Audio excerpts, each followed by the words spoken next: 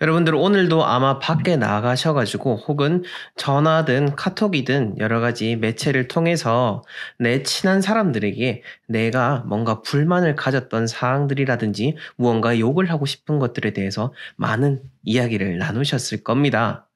하지만 우리가 가까울수록 절대 여러분들이 이야기를 해서는 안 되는 것들이 있습니다. 아무리 친하다 할지라도 지금 제가 말씀드리는 것들을 이것들을 이야기를 하게 된다라면 오히려 거리가 멀어질 수도 있게 될 거고요. 그게 또 여러분들에게 해가 갈 수도 있기 때문에 오늘 제가 말씀드리는 것들 이것들 잘 정리를 해놨으니까요. 잘 들어보시고 오늘부터 꼭 실천을 해보시길 바라겠습니다.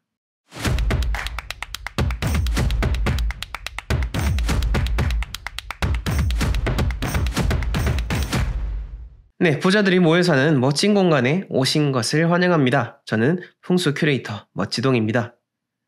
이게 참 사람이 그렇습니다. 주변에 사람들이 있거나 가까이에 있는 사람들에게는 뭔가 더 편하게 대하게 되고 막 대하게 되고 내 속에 있는 이야기들을 잘 털어놓게 됩니다. 그렇지만은 우리가 속에 있는 건 무조건 다 털어내는 것이 나에게 좋은 것만은 아니라는 것을 꼭 기억을 하셔야 되겠고요. 특히나 가까운 사람, 지인에게 이야기하는 것들은 그것이 나에게 화살이 되어 돌아올 수가 있는 겁니다. 그러니 잘 기억을 하시고요. 자, 본격적인 내용에 들어가기 앞서서 각종 풍수 컨설팅 신청 그리고 도서 구매 등을 원하시는 분들은 하단 고정 댓글에 나와 있는 링크 참조해 주시면 되겠습니다. 아무리 친해도 절대 알려주면 안 되는 그 첫 번째는 바로 가족에 대한 흉입니다. 뭐 젊으신 분들은 아우 뭐 친구들한테 가가지고 우리 부모님은 나 진짜 너무 막 꼰대 같고 뭐 어쩌고 저쩌고 하면서 이런저런 이야기를 하실 거고요. 혹은 또 결혼하신 분들 같은 경우에는 시댁이든 처가든 이런 것들 또 친한 친구라고 해서 여러 가지 이야기들을 하게 될 겁니다. 이 가족이라는 것은 말이죠. 그냥 단순히 이게 한 집에 살고 우리가 핏줄로 이어졌으니까 그렇게 흉보면 안 된다. 이 수준이 아니고요.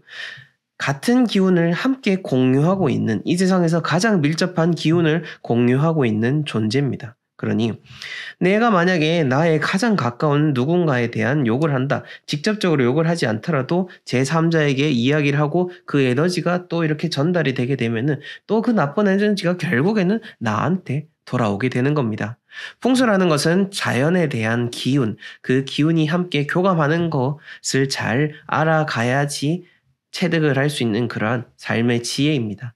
그러한 관점에서 봤을 때 누군가에 대해서 나의 가장 소중한 사람들, 나의 가장 가까운 사람들에 대해서 험담을 한다? 그것은 내 살을 깎아먹는 것 중에 하나이니까요. 만약에 진짜 불만이 있거나 어떤 속에 담아두기 하기 뭐 한다면은 차라리 글을 적으십시오. 따로 노트를 사가지고 어떤 일이 있었다라는 것을 객관적으로 적어 보시다 보면은 그 글자를 적는 와중에 여러분들께서도 여러분들이 잘못했던 부분이 분명히 있으실 겁니다. 모든 일에 있어서는 100%의 과실은 잘 없습니다. 그러니 적다 보면은 그런 사건에 있어서 내가 무엇을 잘못했는지도 체득하게 될 거고요. 아, 그 사람이 왜 이런 반응을 보였을지도 이해를 하게 되니까요. 무조건 다 막 있는 대로 털어놓는 거, 그게 해소가 되는 것이 아니라는 것을 꼭 기억하시길 바라겠습니다. 자, 두 번째로는 말이죠. 바로 이 분노에 대한 감정입니다. 상대방에게 직접적으로 분노에 대한 감정을 표출하지 말라라는 게 아니고요. 이 가까운 지인에게 내가 오늘 있었던 뭔가 누군가로부터 정말 화가 나는 상황이 있어가지고 그 상황을 친구에게 털어놓을 수는 있습니다. 또 그렇게 해야 기분도 풀리고 어느 정도 해소가 되는 거니까요. 정말 답이 없이 이렇게 뭔가 일을 당하기도 하고 화가 나는 상황을 우리는 계속해서 마주하게 되지 않습 니까? 여러 사람들과 어울려 사니까 그걸 피할 수는 없으니까요. 또 그런 의미에서 그 피할 수 없는 상황을 맞닥뜨렸고 또 소중한 나 자신을 어느 정도는 위로하기 위해서 그 이야기를 내 가장 가까운 사람들에게 이야기를 한다라고 하는 것은 분명 괜찮습니다. 괜찮은데 이야기를 한다 하더라도 너무 분노에 찬 내 모습 자체는 보이지 말라라는 그런 의미를 담고 있는 내용입니다.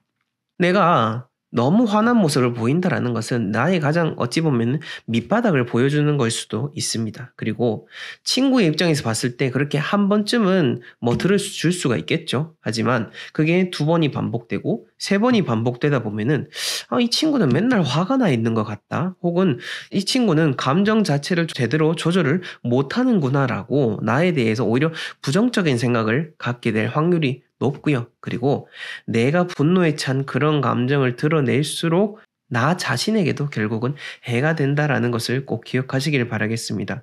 우리가 화를 한번 내게 되면은 그 화 한번 내는 그 순간으로 인해서 엄청나게 몸 안에 있는 수많은 세포들이 죽어나갑니다. 그리고 운의 작용에 있어서도 내가 화를 내게 되면은 내 몸에 붙어 있었던 좋은 기운들 자체도 떨어져 나가게 되는 그러한 작용을 하니까요.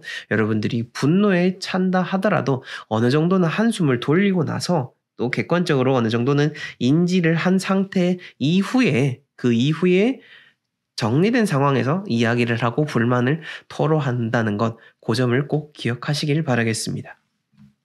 자, 그 다음 세 번째로는요, 바로 이 돈에 대한 내용입니다.